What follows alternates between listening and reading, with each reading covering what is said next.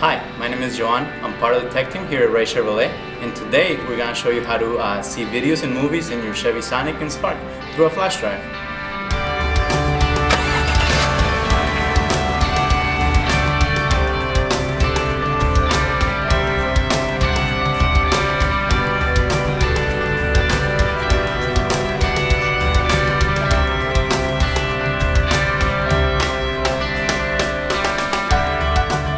Watching movies in your Chevrolet is not difficult at all.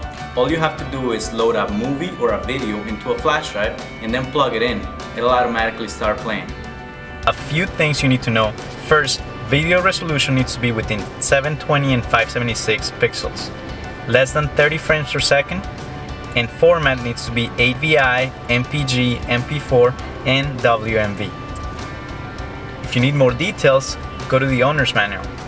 Okay, all this might sound a little bit complicated. All you gotta do is go to a program like Windows Movie Maker or iMovie and select the settings to match the requirements that I just mentioned.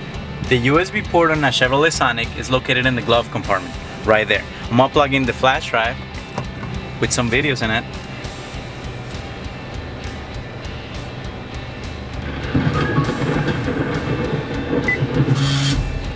Hey guys, this is Dylan with Racer. If you wanna see other videos,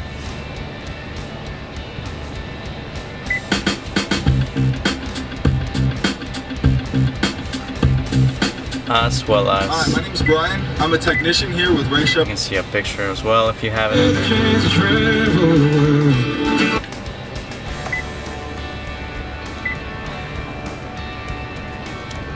Thanks for watching the video, and if you have any questions, please come to Ray Chevrolet in Fox Lake, Illinois.